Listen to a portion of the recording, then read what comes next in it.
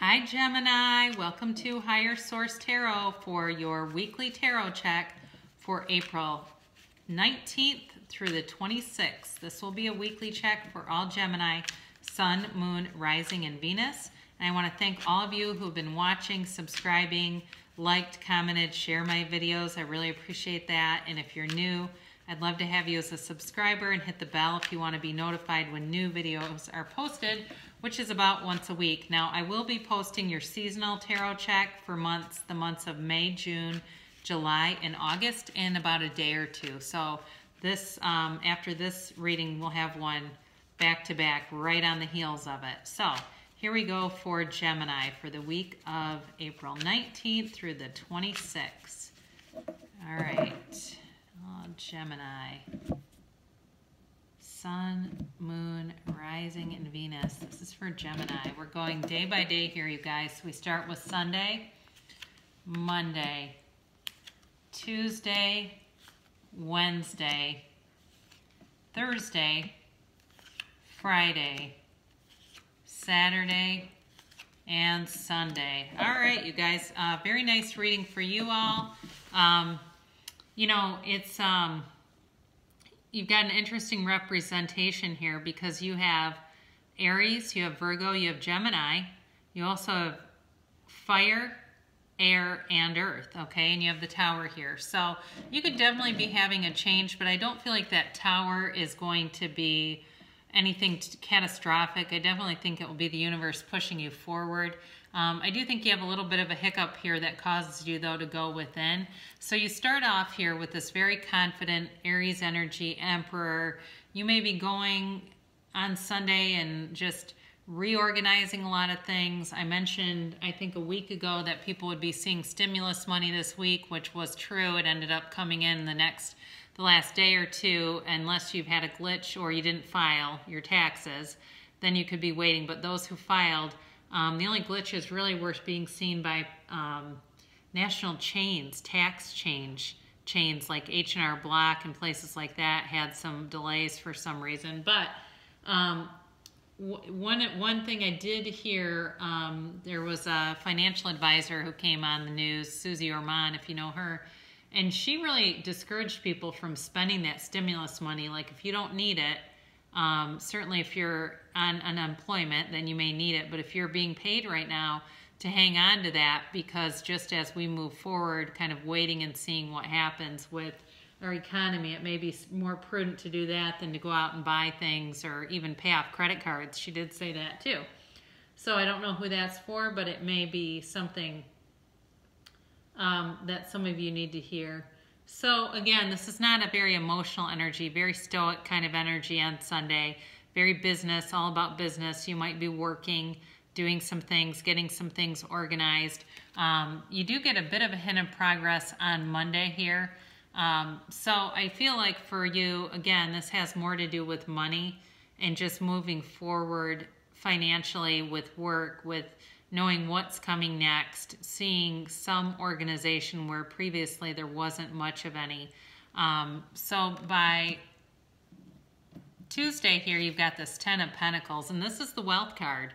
Um, so for some of you, you may be seeing more financial abundance than you thought was going to be possible during this time period where you're noticing you're just not spending money, you're not traveling, you may be getting money returned to you from things that have been canceled.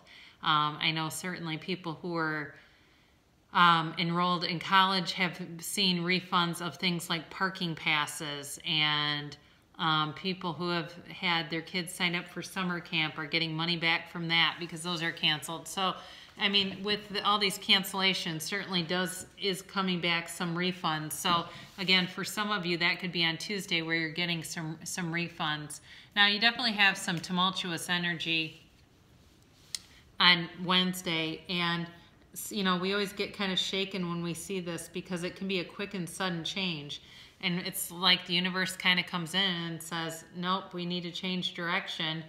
And it's a time to release your ego, your arrogance. So if you feel like you've been, you know, running more on will and ego, it's a huge sign from the universe that it's time to go within get more aligned with the source that's within you, with who you really are, which is your soul.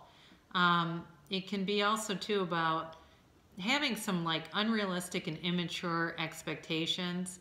Um, and if that's not you, it could be people around you. But just know that in the end, the universe always brings you a gift when the tower appears. Um, so there's a shakeup, but I feel like you're not going to be, you know, fully deterred by that. And this is on Thursday. You've got the Seven of Wands here, and it's moving forward regardless of the obstacles. So whatever happens on Wednesday, you do still continue to go forward. You're not sitting still. Um, and despite problems, you are like a major problem solver right now. And especially with that Emperor mixed in here, Gemini, you've got major league problem solver thinking cap on here. Um, and I think that's going to be something that's going to be rewarded in the long run. You do have a time, though, where you go within. You've got it right next door to each other on Friday and Saturday. And some of that might have just taken the gas out of you a little bit. Might have just gassed you working around this tower movement. And um, for some of you, I want you to be careful about I'm just getting this. Be careful about using your debit card online. Um, that doesn't have to do with this Four of Swords card, but I'm getting it and I want to share that because um, there is certainly on the dark web access to anyone's financial records. In fact, I had a middle school kid that I was treating who told me um, I had my debit card compromised, and they always charge the oddest things when they do that. It was like um, $300 to um, I cannot remember the name of it right now. Um, it wasn't Vera Bradley. It's more expensive than that, but it's that kind of stuff where they charged all this money to my card, and it, they always do it at like 11 o'clock at night. They do it when, or in the middle of the night when people are sleeping. So anyway, I went to my bank and they said, don't use your card online anymore. And they actually set me up with a different kind of card that's much more secure online. But for some of you, be careful of that, that you're going to be compromised in here um, if you're one that's been doing that for a while now. But anyway, you do go within, um, and this could even be for whoever that's for, going to your bank and getting direction from the bank. Getting this is really, I feel like getting some resources outside of yourself. So whatever problem comes in for you, you definitely are going to be hooking into somebody, a professional who has more training, more resources, and they are going to serve as a guide to you where you can kind of slow down and let somebody else do a bit of your thinking for you and give you some direction. And again, we go into this Saturday with the Hermit. This is about being guided. Okay, this is the lantern in the night. This is your guide, and this person's telling you, this hermit's telling you, you are on the right path. It is a nine, and so that's coming to the conclusion of a cycle. So I do feel like whatever kind of janky energy comes in here with this tower and then the seven of wands you go into a somewhat of a protective stance but into a very well guided position. Um, and then you end with your own energy with the lovers. And this is all about harmony balance and union. So you may be finding that if you've been in a relationship you may be finding that person is quite supportive and lovely in their energy and their response and it feels like a constant. When this tower stuff comes in, this helps you to feel like you have a constant in your life that keeps you grounded and makes you feel like home. Um, for those of you where this has more to do with work, again, this is a balanced, um, like, you know, a true fit. You have a true fit there. So, um, I again, I don't think you're going to be anything horrible is going to happen, but I do think you're going to have a little bit of a hiccup that causes you to get some resources here. So this is our Abraham Hicks card. Asking it is given. Every reality has been focused by someone into being. Okay, so we create our own reality. You were taught to face reality before you knew you were creating reality.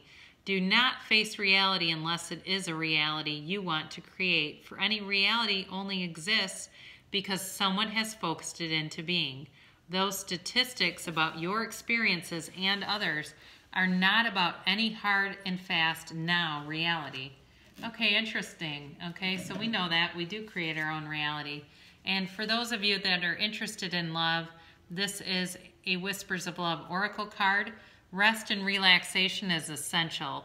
we all have a fundamental need to take a break, which I, I like that in this reading because you have the Four of Swords, the Hermit, and then the Lovers.